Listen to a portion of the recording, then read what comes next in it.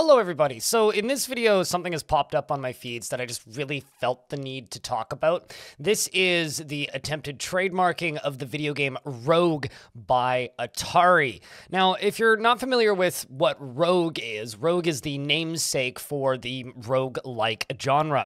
So it's a rather long backstory, but kind of simply put, uh, as the designers went from university to university, one of the things that they were working on was uh, it, like text-based games that were working with early procedural generation. And Rogue was both kind of a prototype, but also a, a product of that early kind of computer experimentation at various universities. Uh, you can read the full story here, as you can see, it's quite long, but essentially it is the birthplace of procedural uh, gaming as we know it. Uh, the genre of rogue and rogue likes uh, kind of originated from academia and uh, designers kind of mucking about. Now, while they did land on some pretty compelling games that ended up sucking many, many hours of people's time, and also then eventually uh, expanding into a further genre based on the one original prototype of Rogue, it was always very hard to market and didn't sell particularly well. Even back in the day, while it had its fans and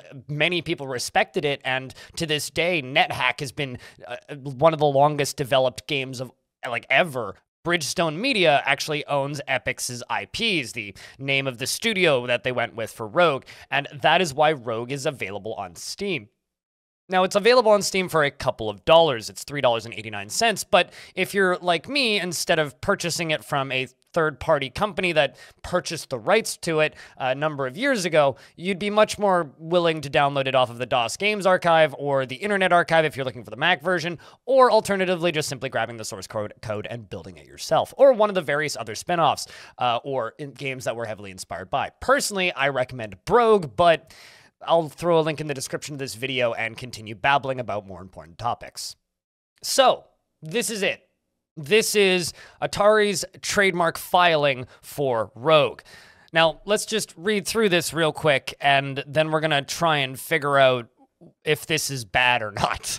Uh, so the mark for Rogue, uh, the trademark registration is intended to cover the categories of downloadable game software, recorded game software, downloaded computer programs for the creation and distribution of digital collectibles using blockchain software, technology and smart contracts, downloadable digital media, namely digital collectibles, and in the nature of art, images, photos, and video games, and videos of games, and video game footage, and video game highlight videos, and game player character models, and skins, and virtual experiences created and distributed with blockchain software technology and smart contracts in the field of interactive entertainment. Now, if we scroll down a little bit in this, uh, they're talking about Rogue. And as somebody who is, um, let's just say, a fan of freedom of information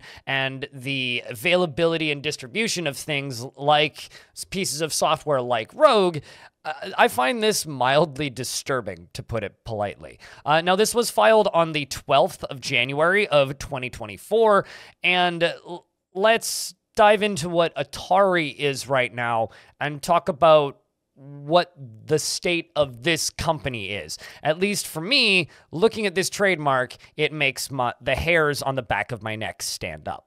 So I've seen a lot of different people talking online about this, and kind of the consensus is, well, it's it's obviously not that they are copywriting the game, but what they are doing is they are trying to trademark the name of a game, and it's a name of the of a game that has publicly available source code. And it's the name of a game that has a lot of history. And it's the name of a game that has a lot of connection to current and past game history. Now, I, I I'm concerned about this because while I am not the biggest fan of the current usage of the word roguelike, and I'm very much in the Berlin interpretation and the classic definition and holding the, the, the name and the genre to its roots, but even if you aren't like me and you like the modern iterations of the usage of the term roguelike and you uh, are totally fine with diluting that and kind of making it a more generic term, this should concern you as well because suddenly a company is showing up and saying, hey, we're going to own that. And what happens when they own that, which is a term that is used to describe a huge swath of games as well as a specific IP? Not only that, a specific IP that is currently both free and you can download the source code for, but also for sale. So Atari currently is a weird company. They sell shoes.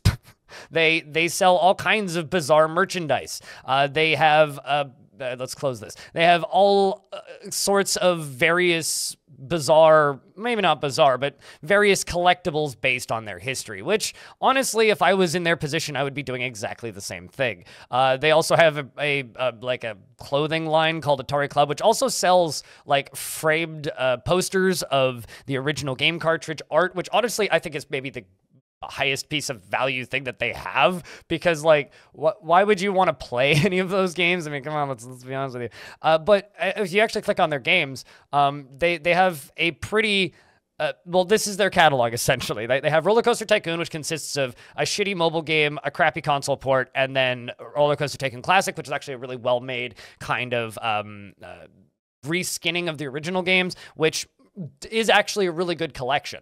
Uh, and then also the Atari collections, which, uh, well, do, do, you like flashbacks? So flashbacks are just where they take a bunch of their old Atari games, package them into a thing, try and give me a seizure with the top of the screen, and then uh, ship it out to modern consoles um, at a pretty hefty markup, but with you know leaderboards and online play and whatnot. Um, nobody wants to play these games, so what? Who cares?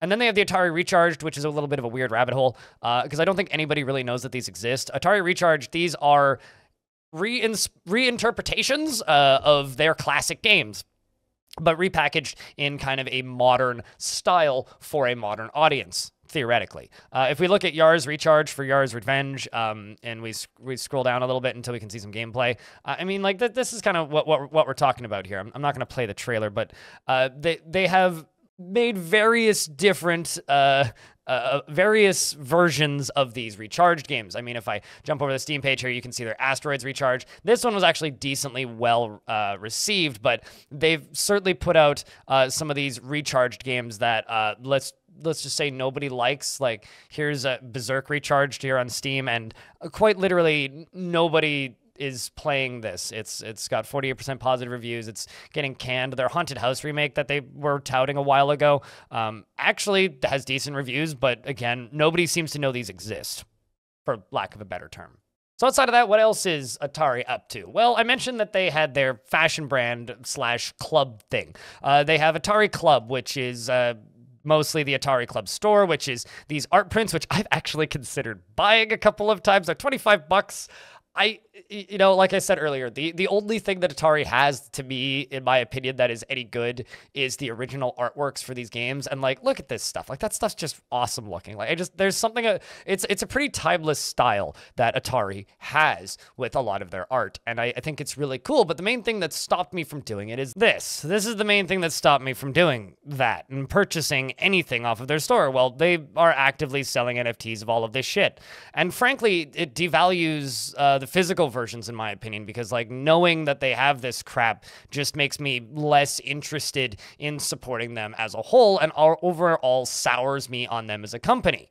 But if we go back to their games page of their website and actually scroll down to one other thing, I will say they have actually got me once or twice. Uh, this is the Atari 50 Anniversary Collection, which uh, was made by Digital Eclipse while this looks like a video game, it's actually a documentary. It's it's an incredible piece of combined information of different eras of Atari, all kind of packaged together with a full-length interactable documentary and remakes of some of the games, which are not related to the uh, Atari Recharge series. These games, this is a fantastic value for money. It's it's a huge awesome documentary with some incredible interview work and great camera work done in it, as well as like an interesting little collection of games to play throughout for context. That being said, Atari as a company still makes me feel ill. And let's kind of finish this up here. Atari trademarking Rogue to me is dangerous in a few ways. The best case scenario, if they took the trademark and let's just say purchased the rights to it from the current IP holders, they could make their own version in, let's just say, an Atari Recharge series. I mean, Atari did work with Epyx Software back in the day, so there is some legacy there, and that kind of makes sense to a degree. They've also purchased uh, Digital Eclipse, which was the company that made uh, Atari 50, and perhaps they're purchasing the trademark for Rogue so that they could make a collection on it with uh, Digital Eclipse. Digital Eclipse is, after all, working on a remake of the original Wizardry right now. So there is a weird possibility that maybe that's got something to do with it, but that's a bit of speculation. At a glance, this kind of just looks like they want to make it into a like an NFT. But I feel like because they're dealing in that market, if they're going to uh, file for a trademark, it would be natural for them to just add that in, considering at the very beginning it does say for the categories of downloadable game software and recorded game software. So they, and also videos and trailers and highlights and all that stuff. So while there is all of that blockchain stuff in there that is kind of muddying the waters, there is like perhaps a chance that they are coming at this from the more documentarian perspective, which I would actually think would be really interesting. But I still don't like the idea of them owning the trademark for it. Regardless, this is just an application. They don't actually have it yet. So I'm curious. What are your thoughts? Uh, this this stuff's strange to me. I'm not an expert in in this. I've been doing a bit of googling about trademark law for the last two hours, and I feel that this is something that should probably be talked about within the roguelike community. I know there's already posts on the subreddit, which is not how I originally found it. It was posted on my Discord, which is how I found it. But there's people discussing it on the subreddit back and forth. A lot of talk of NFTs and various other things. And I, while I think that that's a major concern, and I don't think people should own the rights to Rogue in any way, because for me, I, I feel it's one of those pieces of software that just should be open source and available to everybody for free, and you can get it. And once again, source code's linked in the description of this video. But is this something we should be concerned about? I personally feel it is because the concept of Atari as a company makes me feel icky. Doesn't matter what era they're in, they've ruined enough of my favorite IPs. I'm looking at you, Roller Coaster Tycoon, that I just do not want them to have the rights to touch anything except for stuff that they already own because well I guess that's dead. And as a company, I I hope that they slowly separate themselves from this early 2020s fad of NFTs and blockchain shit because there's no end game there. People don't want that.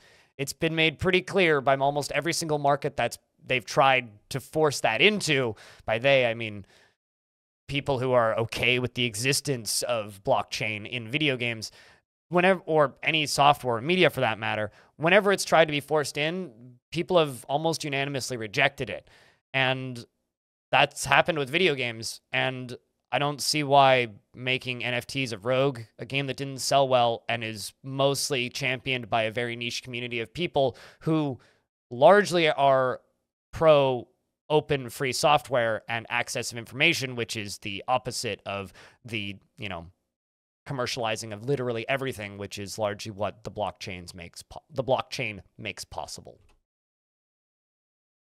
Thank you very much for watching this video. If you thought this was interesting, leave a like on it. If you don't like it, leave a dislike on it. I don't care. Let me know in the comments section if you want to see more videos like this. Thank you very much for watching this video. I'll get back on topic with the next one. I've got some tutorials in the works. Thanks for watching. See you in the next one.